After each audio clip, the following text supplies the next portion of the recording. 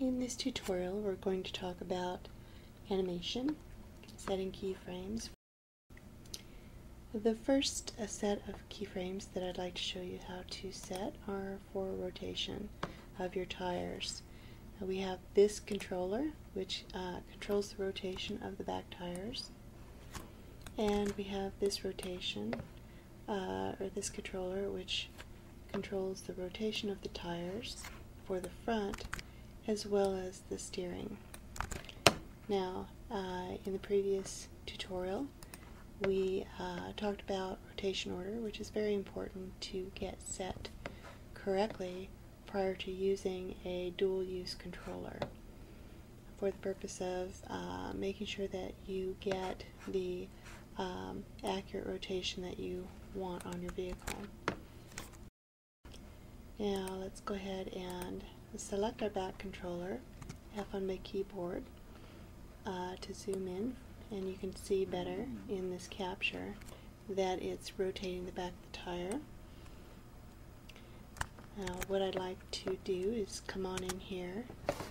We'll go ahead and delete what's currently here. Before I do that, I can show you what's happening. Uh, when we um, rig and animate tires. It's a constant rotation uh, of a 360 degrees that we're trying to accomplish repeated. So you can see that my first frame, if I select on that key, you can see in the time slider here where the red lines are that those are uh, set keyframes. So I select on the curve in the um, curve editor here, you can see that this particular value on the rotation x is set to 0.3. Now, this initially was set to 0, uh, but so, sometimes it'll take on uh, a different value close to the original set keyframe. And if I scrub over in my time slider to frame 10, you can see that this particular value is set at 359. That's one shy of 360 degrees. So uh, as um, when you're prepping loop animations for your game engine, you'll want to create one loop, one cycle, and have it repeat. In this case, the tire rotation is 360 degrees so we're setting a loop animation on frame 1 set at 0, on frame 10 set at 359, so that when the game code repeats that cycle, it's repeating it 360 degrees. Alright, so um, as we're creating an animation, a translated animation, uh, usually in game animation. The translation is done by game code. And the short looping animations are played in addition to that. So uh, if you are creating an animation with translation, such as we are for, then you will be creating it with translation as well. And the way that you can do that is simply repeating this cycle uh, in the curve editor and I will show you how to do that. Uh, once we, um, let's go ahead and strip this out, begin from the beginning actually. So I want to bring my vehicle back into my perspective view and I'm going to delete this uh, animation so now you can see as I scrub through there there's no animation associated with this controller. What's taking it out of the scene is the uh, translation that we've put on this translation node. So go ahead and select this again and we will um, go back to frame 1 and set our first keyframe. The way that we do that is by selecting on that particular uh, rotation X, which is available for keyframing, right click and uh, select key selected. Okay, and there you can see the uh, red line in the time slider there on frame 1 additionally you can see a little dot right here in the uh, time slider on frame 1 at 0 which is the uh, the indicator that we just typed in. Now uh, we want to make a 10 frame cycle animation.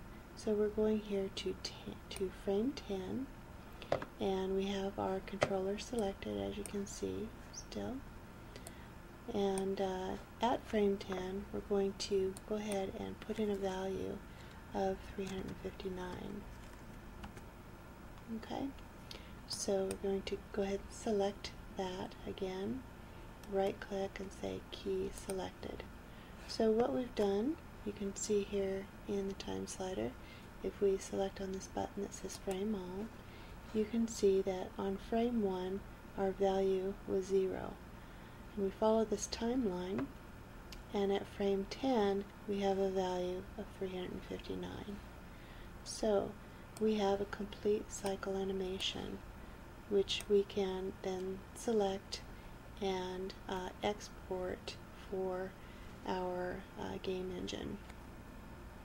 Now in order to get that to repeat what we can do then is continue on to frame 20 which is uh, again 10 frames and we can just take that value back down to 0 and key that frame and we've created um, a, uh, a loop but it's a backward loop in comparison to the frontward loop that we've just created. Now, when the car is traveling or even um, spinning its wheels at, at, this particular rate, you're not going to be able, your eye is not going to be able to determine the difference between um, going frontward and backward. So this is how we can get away with uh, doing these particular type of cycle animations for a translated animation. And once we have that, we can repeat that as many times uh, as the duration of the animation that we need it.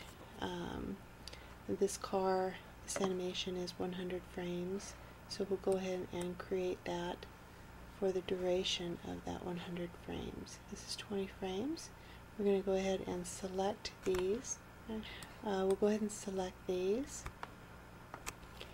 And right up here at Edit, you can copy and we're going to open our options box. Make sure that all is selected, copy keys, and then we're going to come back to edit, select paste option box, and the time range is going to be indicated at start. And we can go ahead and paste those keys, but before we do, we also can indicate how many times, how many copies that we want it to paste. So if we have a 20 frame animation, and we want it to go the duration of 100 frames, then we know that we need five of those. Plug that in. And say paste keys. And now we have uh, the animation cycling at all 100 frames.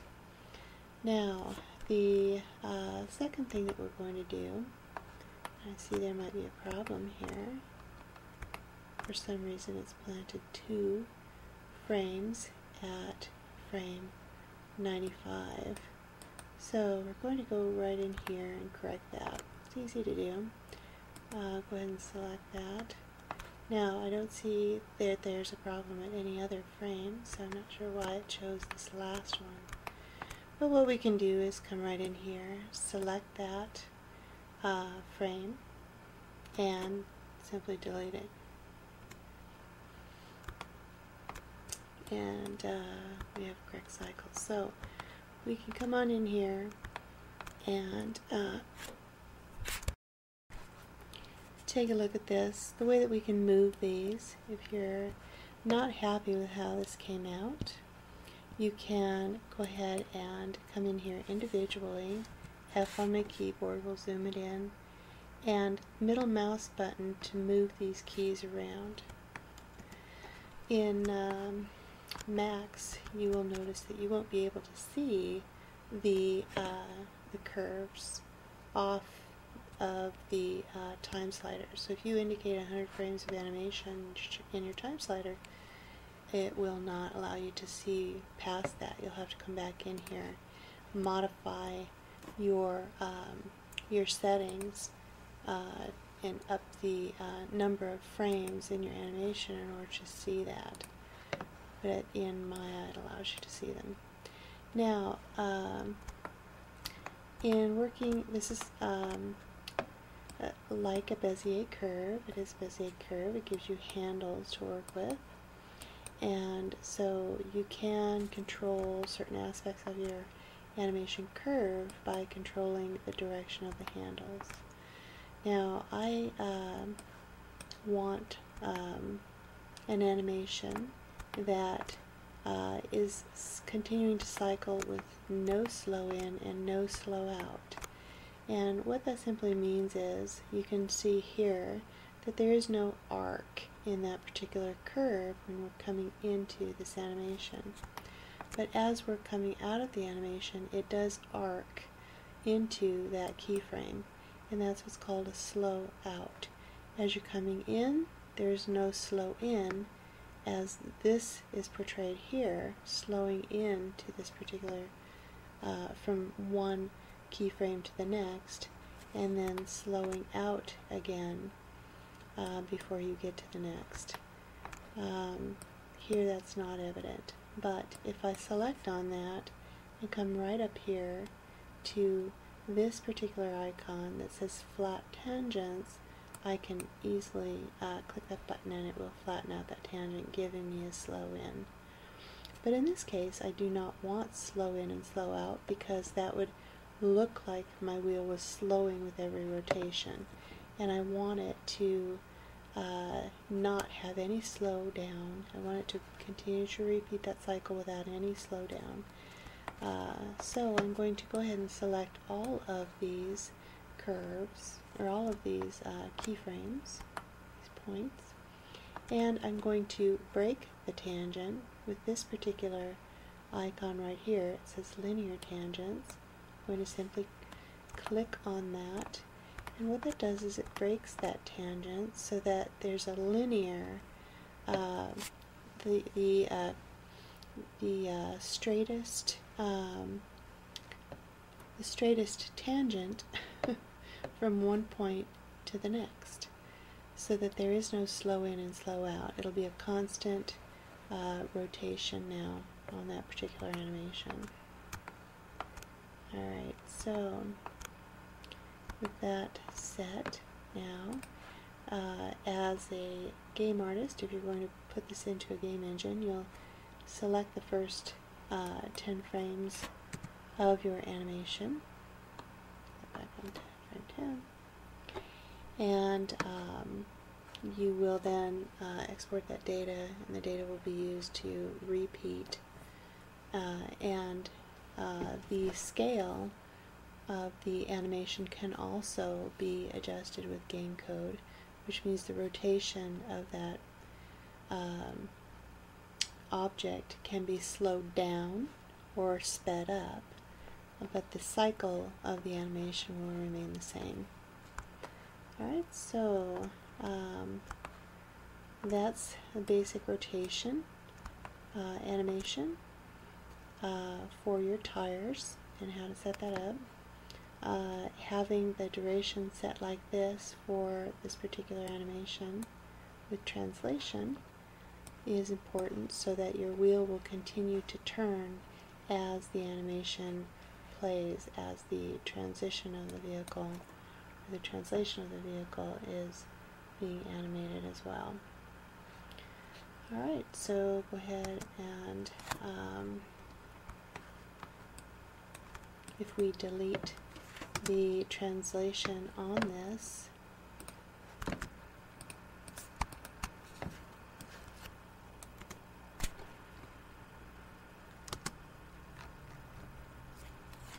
sends it back to the initial location then you can uh, come right in here and you'll be able to see the um, spinning of the tire. Now there's still some rotation value left on this, so we can go ahead and delete that as well. So that you can, we'll just play it, so that you can see that there's a rotational value on that tire.